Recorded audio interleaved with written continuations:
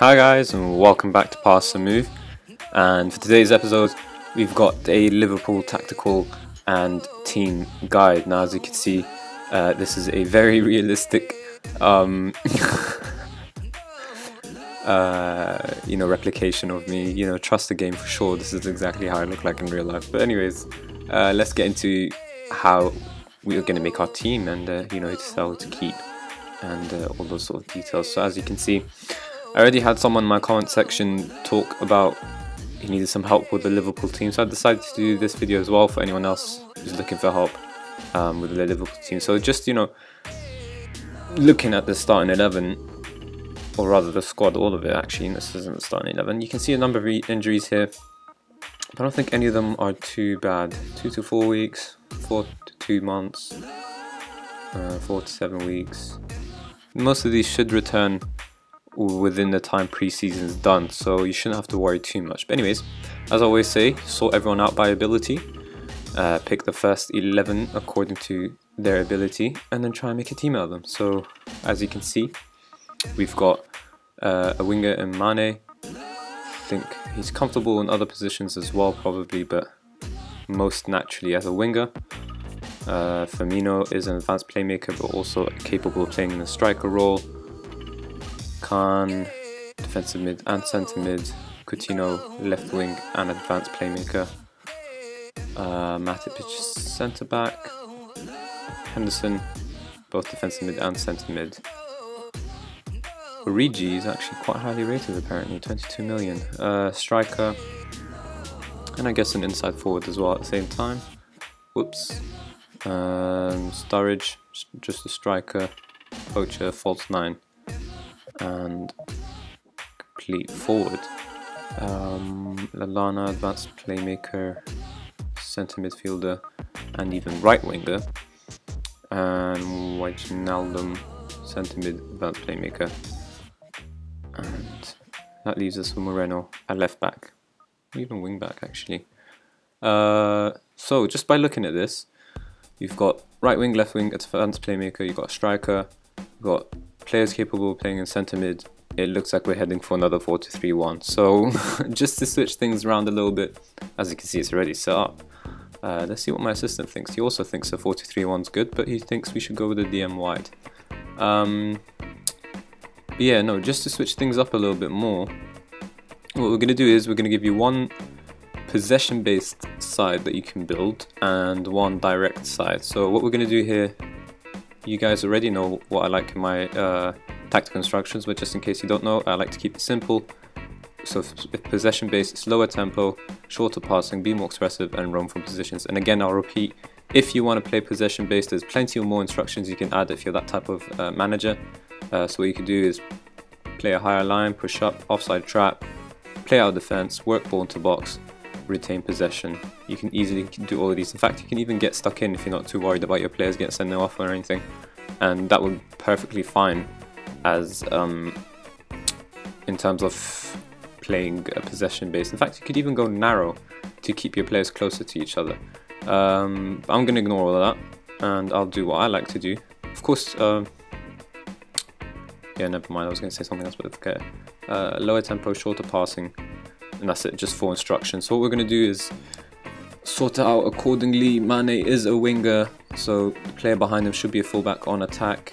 Uh, I think we'll play Coutinho as an inside forward attacking. Uh, we don't want him to be worried, too worried about crossing. We want him to try and score goals from out wide. We'll have the wing back on support there. As I mentioned before in the 4-2-3-1, these two have to be a bit more defensive compared to other formations. So we will have to go with a normal centre mid on defend and deep line playmaker on support role. Um, a duty. Is that duty or role? It's duty. Uh, but as I mentioned, you know, you just have to keep them more defensive, and this this type of um, setup does the double pivot. So these two stay on, and they'll help the the fullbacks push on and let the wingers do their thing. Uh, we've got an advanced playmaker in Firmino on attack, and we've got Sturridge as a complete forward on support and I think even Origi is comfortable playing that as well so more than capable of doing these roles so now what you can do is we've got Emre Can uh, capable of playing as a deep line playmaker on support uh, but he should technically, I'm, I'm assuming, but we'll see right now, plays as a central midfielder on defend. He seems to be doing that okay as well. In fact, I would recommend him playing that role rather than a deep line playmaker. He seems a bit more suited to it. Henderson is probably decent as a deep line playmaker, but again, I think he can play centre mid on defend and he can do that as well, as you can see there. Uh, so that gives you the option of putting Lallana either as a backup to um, what's his name, Firmino, or you can actually push him into midfield as a deep line playmaker on support as well. And the same can be said as well for Georginio Wijnaldum, I guess if that's how you say his name. Uh, so yeah, you got options basically.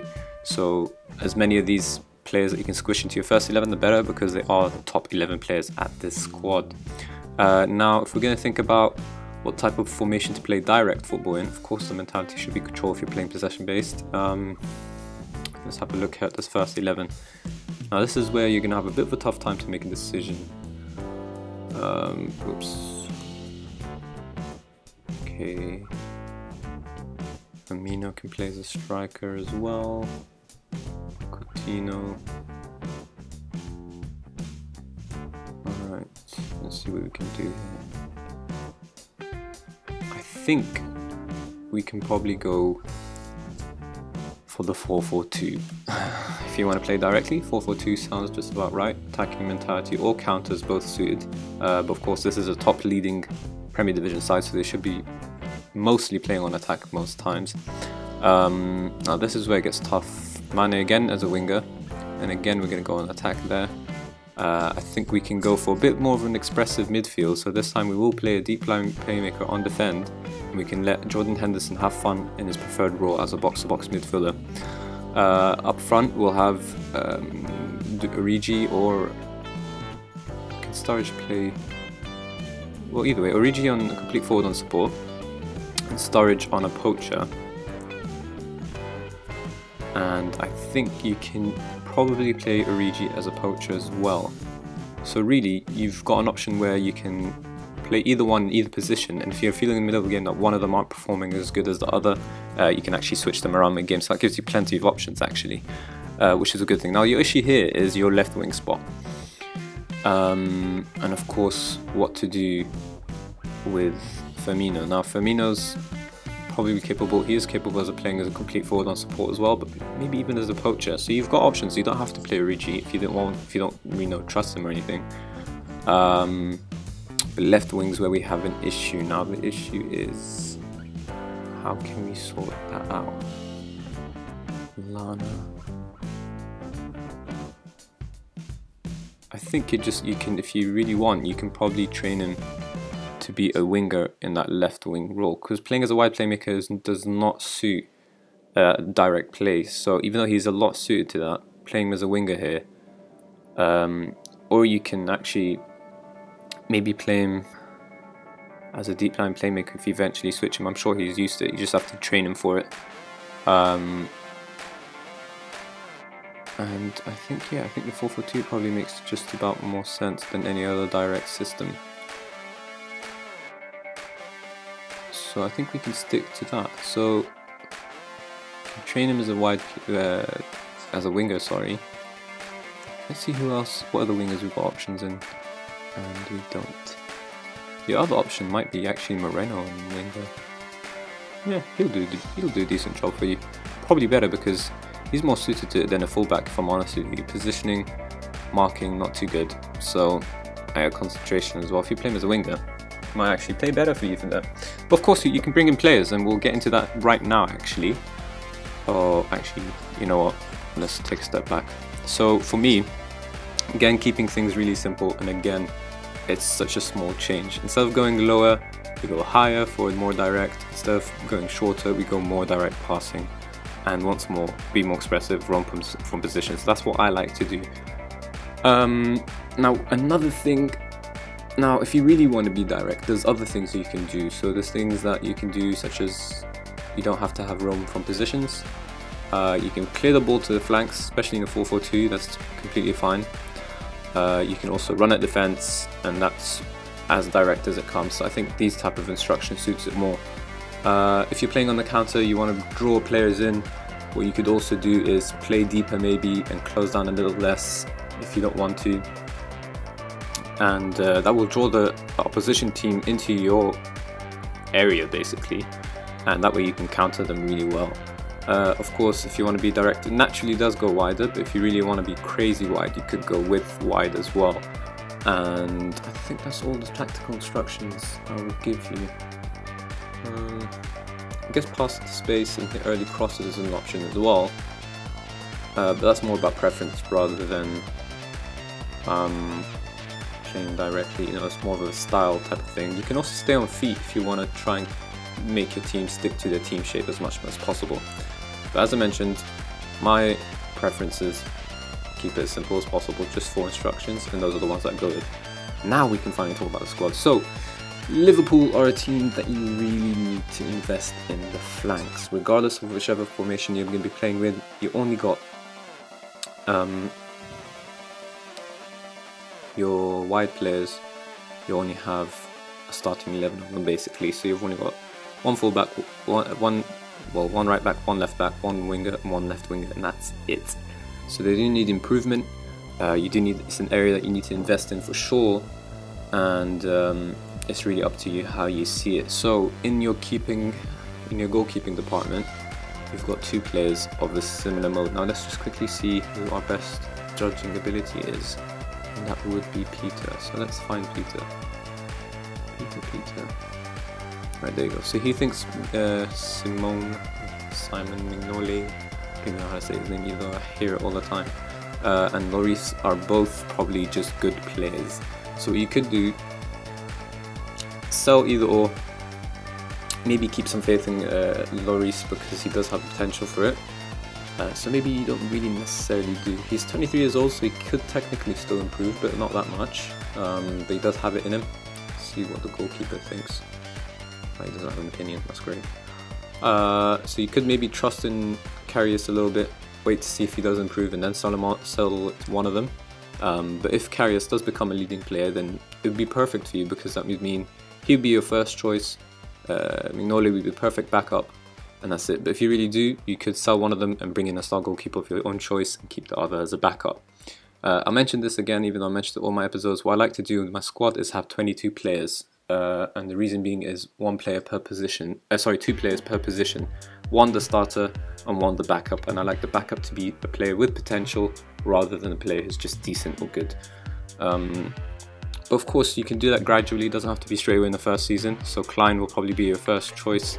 Uh, he is only considered as good, and doesn't look like he can actually improve anymore by the looks of it. Um, so maybe you could bring in someone else and keep him as backup.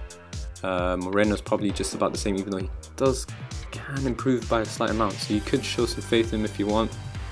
Bring someone else young who's uh, capable of playing it. In the centre back position, you have a lot of choices here. So you just need four, but you've got six here. And my suggestion is to get rid of the weak ones. So the weak ones, just by looking at here, I'm not even 100% sure, is Lloris and Gomez. And this is your four here. So what you want is the two centre backs who are leading, and that's probably Matip. Oh, apparently, apparently Matip isn't. And uh, Sakho is? Nope, all your centre backs seem to be just good. So maybe you're better off. Yeah, by the looks of it, you're better off selling two of these. And I would suggest, I would actually suggest Lovren because he's susceptible to injury, so it'd be useless to have him. Uh, he always he might be out most of the time. And I think you should probably sell Klavan as well. He's 30 years of age. It doesn't make sense to keep him on. If you sell those two, bring in two star strikers and keep Sakho as Mat and Matip as your backups, that sounds a decent, decent enough plan. And eventually Gomez will um, fulfill his potential maybe, and that way you can, you know, claim as your first choice. Um, but if you do keep everyone as is, and maybe one of these centre backs, or uh, you can switch one of these to ball playing defender according to who you're playing, if they're more comfortable with it or not. Uh, okay, that leaves us with our centre mid. So you've got a lot of options actually because it depends on how you're using it. Uh, if you're playing direct, then you don't need advanced playmakers at all. so you can retrain some, uh, such as Wijnaldum and Lallana into centre mids, and that would mean getting rid of others. Or you, if you're playing with a possession base, then it makes sense to do something else here, which would mean just training one of them and keeping Firmino as an advanced playmaker and getting rid of the other. Um, of course, if you're playing 4-4-2, you need four strikers, so these will be your four here.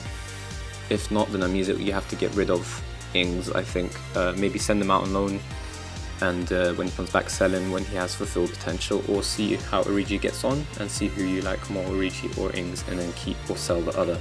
Um, but yeah, if you're playing, so yeah, it's just really you have to pick which one you want to pick. Uh, and of course, I would suggest keeping Can and Henderson. They should be your first choice midfield, I think. Um, but you also got great options in Wijnaldum and Wijnaldum and Lana. Uh, depending on which formations, of course, you use, they're all capable of playing these roles. Now, if we just quickly look, Leiva is only considered good. Can has potential to be leading, so you know you should trust in him a little bit. Henderson's only good for some reason. I think he's actually considered to be leading eventually, maybe. Um, but you might be better off bring, improving that mid position as well, uh, just depending on who you want. So Wijnaldum is also just good. Lallana, Lallana's leading, so you can. He should definitely be your first choice centre mid. Okay, this is all according to your assistant. So, well, actually not the assistant, but um, you know, you should. If you don't trust him, maybe you can get someone in with better judging ability. But 16 is pretty close to almost perfect, so I think you can trust that judgment. Also, don't forget, of course, when you're playing players in different positions or roles, for example, uh, their ability reduces or increases according to you know where they are most comfortable and whatnot like that. So, anyways, uh, that leaves us with the wingers, and as I mentioned, that's just Mane and Coutinho. So you have to improve. Honestly, the play the places that you definitely need to improve is the flanks. Everywhere else is just uh, icing on the cake, really. And I think we still got strikers already, as well as advanced playmakers. So it's up to you guys. And I think that will be all for today's episode. We'll be looking into, uh, I'm not sure which team next, maybe United or City or maybe even Tottenham. It depends who comes first, I guess. Uh, but anyways, that will be all for today's episode. Uh, so if you did enjoy it, then please do, of course, hit the like button and subscribe for more Daily Football Manager 2017 content. And as always, thank you guys for watching.